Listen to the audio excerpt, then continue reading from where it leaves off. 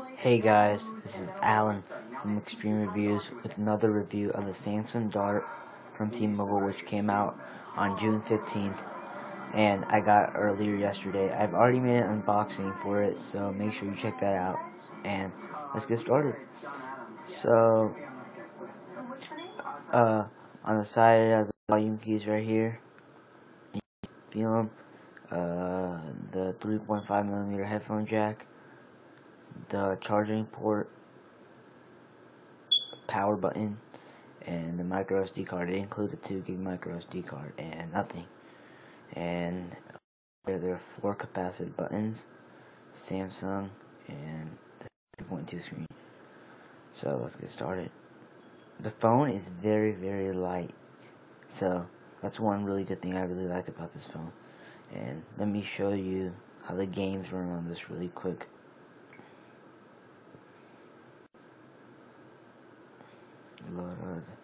It loads. Hopefully it's good. I haven't really tested Angry Birds out yet.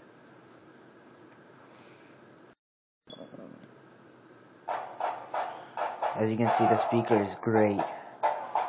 Everything is clear and crisp, not too loud, not too low. So let's see, let's, let's play this again. Okay, let's go next. Loading, loading, loading, loading. Okay, there you go. The screen, uh, the camera doesn't do it justice because I don't have the massive camera, but the screen actually looks really, really, really nice. So that's one good thing. Let me just show you how smooth it is. Look at that. It's really smooth. So yeah, let me show you the pinch to zoom options on the game itself. Let me just start it, I guess. As you can see, you can the other ones, you can, I don't know why it's not allowing me to, but oh well. Let, let me show you some other stuff. Let me show you the camera. It's only a 3 megapixel camera, so it's nothing great. So let me show you some of the pictures I'm about to take. I'm just going to take a picture of my remote. Oh, sorry about that. Show you a picture of my remote, and let me show you how that looks. I think it's autofocus, I'm not sure. Going. You can't really see. I have no lighting in my room whatsoever, but I tested the camera out. It's pretty good for a 3 megapixel camera, and, and it has autofocus, so you can't go wrong. One thing I don't like is when you touch the capacitor uh, buttons, it doesn't have any type of feedback. So when you click it, I can't tell I'm, uh, I'm clicking it. So that's one bad thing I don't like. Let me show you the browser, not the Gmail, the web browser. YouTube, let me show you guys how YouTube looks. I'm hoping Flash works on this. Uh, let's see. Let me go to the desktop version. Oh, I'm already on desktop. Uh, it says I need Adobe. Oh, it's right there. So I'm gonna need to get that. Uh, I tried to find it, but I can't really find it on here, so I'm gonna, I'm gonna have to sideload it from the internet. So that's one bad thing, but I think it has pinch to zoom. Yeah, it has pinch to zoom. It works perfectly, and it has top. It's not as smooth as you would find on a 1 gigahertz phone, like the G2X or the G2 or one of the high-end phones. This is a low-end Android phone. So yeah, now let me show you the YouTube actual player. Let me show you the quality of the videos.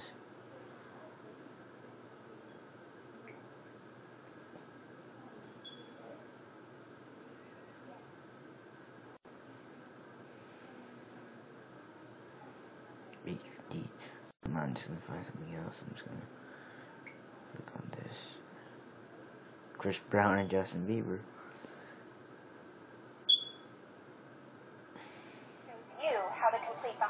That's a commercial. Everyone hates those annoying commercials. Let me just wait. But as you can see, the quality is pretty good, even for a low-end Android phone. That's one good thing. It only has 600 megahertz processor. Let's just click on quality and see what it does. Yeah, it's not that big of a difference, but it's pretty nice quality, and you could change it like that. So that's one good thing. And another thing I like about it, this thing is the notification. See, it can show me my music, auto rotation. That's one thing I like. Silent GPS, off, and Wi-Fi, and all my notifications. Wait a minute. Now let me show you what I'm having to show you guys. The music player. I only have one song. I just test song right here. So let me just show you. As you can see, the speakers are really, really nice. No cracking on that. Beautiful speakers. It sounds even great when you put headphones in. That's good. It has 3.5 millimeter headphone jack.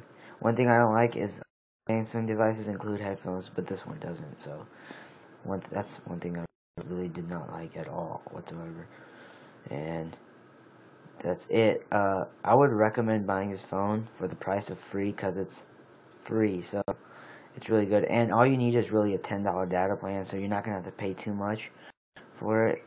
Like if you got like a new Android phone, you most likely have to pay thirty dollars if you want a 4G one, which gets pretty expensive over a certain period of time. But guys, thanks for watching and subscribe. Alright, peace out.